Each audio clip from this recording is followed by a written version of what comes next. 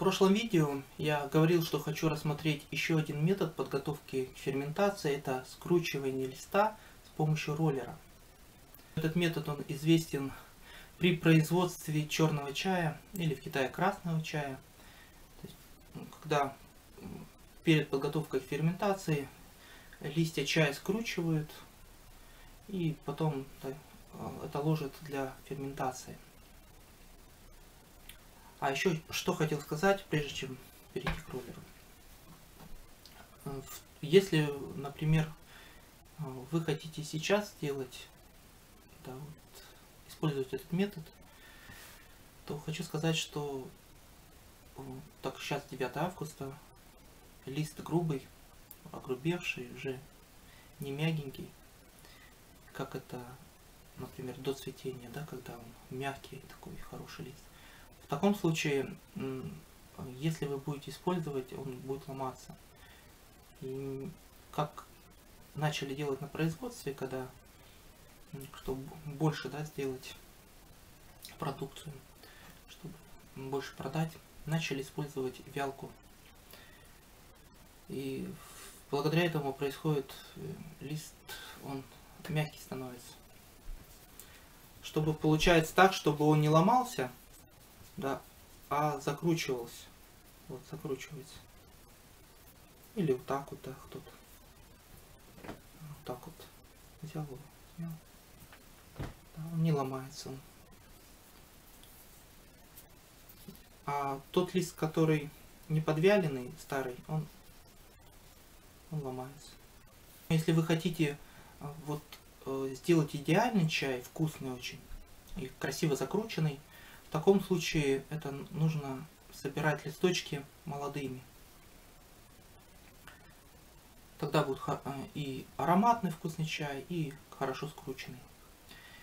Как он только становится, э, вы замечаете, как сейчас показывал, да, э, как он только листочек сминается, не ломается, тогда можно его уже скручивать.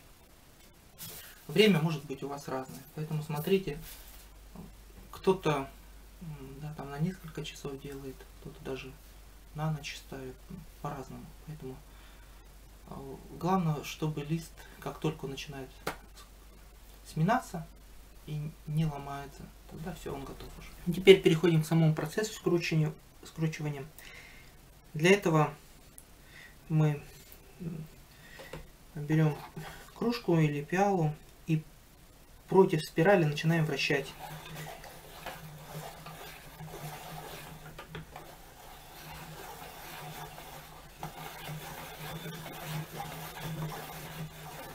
Лист начинает закручиваться. Если мы по краям это делаем, вот так, то тогда получается, что он начнет ломаться если близко, сильно близко к краям. Поэтому где-то примерно в середине, близко к середине, так. Таким образом он закручивается.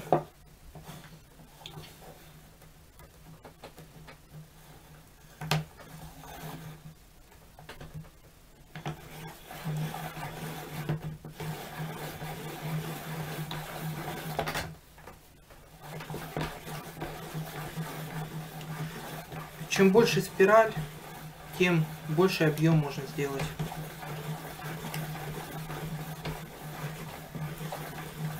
Поэтому, если больше, значит, нужно и тарелку так поболее.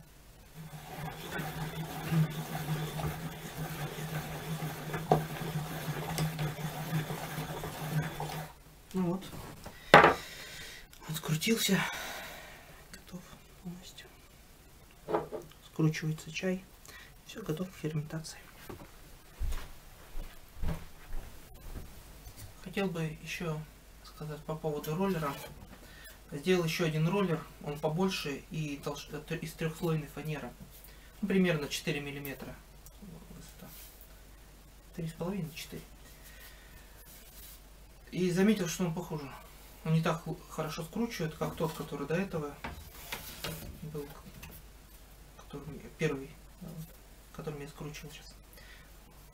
А, здесь пятислойная фанера, например, на 6 мм толщина. И скручивание лучше происходит. Не знаю, или за счет того, что она, вот эти лучи, они потолще, или ширина может быть лучей тут вот тоньше, чем здесь у этих. Здесь 3 сантиметра, здесь полтора. Ну, вот получается, что вот э, такой вот, который из пятислойной фанеры, получше закручивает. Очень хорошо, замечательно закручивает, быстро.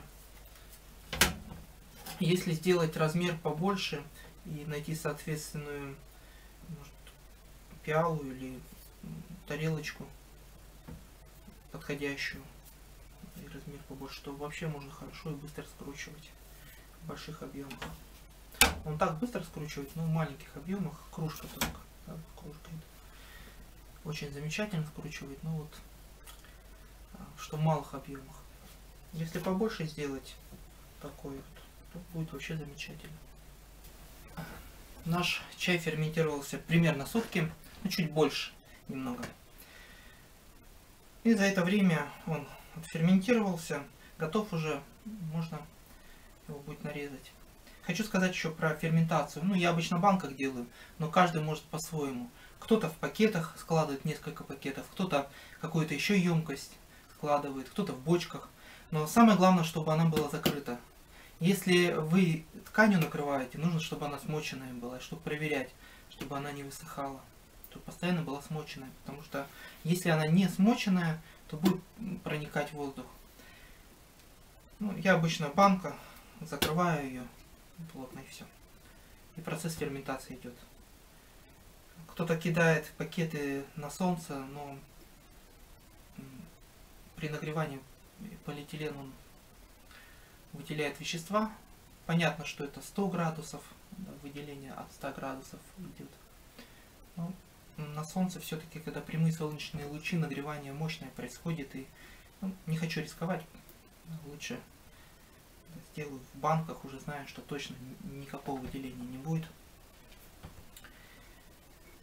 Хотя кто-то да, дома может там уложит пакеты да, в тени Поэтому тоже да, в полиэтиленах выделения никакого не произойдет. Только если температура очень мощная, высокая. Да, главное в процессе, вот в этом ферментации, чтобы емкость а, была плотно закрыта. Тогда будет хороший процесс происходить. Если емкость будет открыта, или будет проникать каким-то образом кислород, то тогда произойдет другой процесс окисления. Чай будет кислить, он будет темный, конечно, да, но он будет кислить. Поэтому не особо такой он будет. Неприятный, невкусный, кислый. Ну а так, замечательный. Приятный цветочный аромат. Такой хороший. Сейчас нарежем его и посушим высушим. И потом хочу еще попробовать по вкусу, сравнить с теми методами, которые я рассматривал до этого по вкусовым качествам. То есть отличается ли этот чай от тех вкусов или нет. То есть э, я напомню, я до этого рассматривал методы сравнения по вкусовым качествам и заметил, что чай, который скручивали в листовые колбаски, он ну, самый вкусный был. Также вкусный листовой чай, который мы мяли, тоже вкусный аромат у него, но немного хуже, да, чем те, которые с колбаски скручивали. И еще рассматривал гранулированный, но мне он не понравился, может кому-то нравится горьковатый вкус. Особенно после остывания чая, когда он остывает, гранулированный, тогда э, чувствуется горечь. Когда он в горячем состоянии, она практически не ощущается. Но мне больше вот понравился листовые чаи, листовой чай. А гранулированный, я думаю, это на любителя, Ну, сейчас вот хочу этот проверить. Сейчас нарежу его и при 100 градусах высушу. В данном случае мы сушим при 100 градусах. Почему? Да, почему не при обычной температуре, до 50, как обычно травы? Потому что э, главное здесь остановить процесс ферментации. То есть вот э, сейчас он продолжает ферментироваться, открыл банку, начнется процесс окисления. Поэтому надо нарезать и чтобы не было процесса окисления, мы будем сушить при 100 градусах.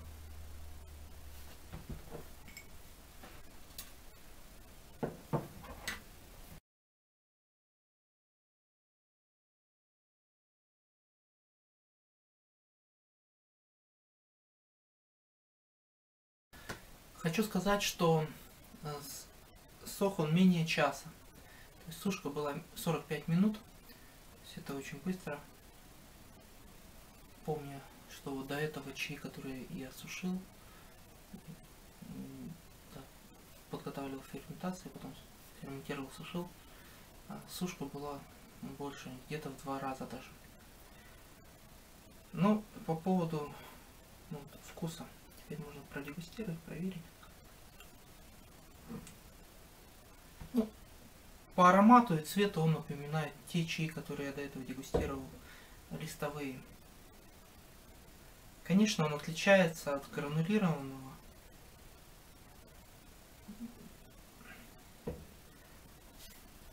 Но вот э, с листовым по запаху и по цвету не, не отличить.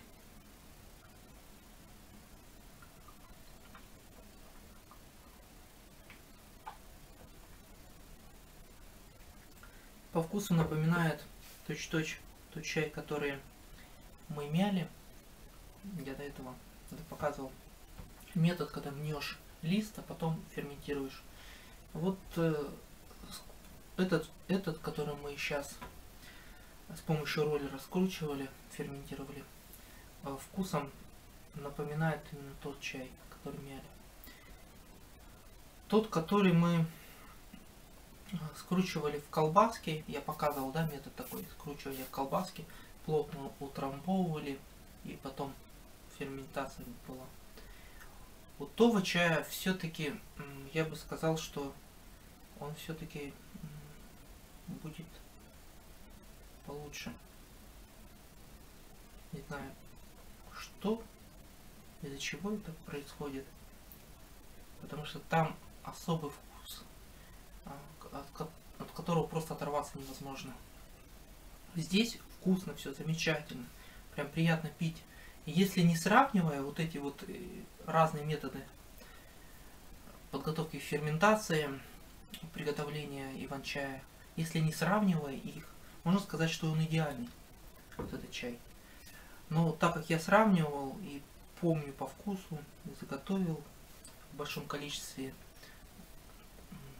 разными методами сделал чаи. Поэтому хочу сказать, что все-таки, которые скручивали, он как-то, да, листовые колбаски скручивали, а, тот повкуснее будет. Но за счет чего я не могу сказать.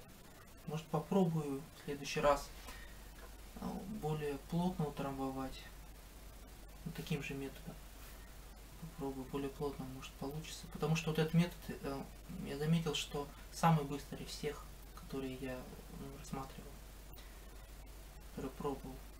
Все очень быстро все происходит, скручивание листа э, не напрягает, ничто не болит, ни руки, ни мясорубку потом не надо мыть. Да, не, ну, метод очень простой, да, и происходит очень быстрое скручивание, и лист очень красивый получается. Красиво, приятно смотреть, приятно насыпать. Вот.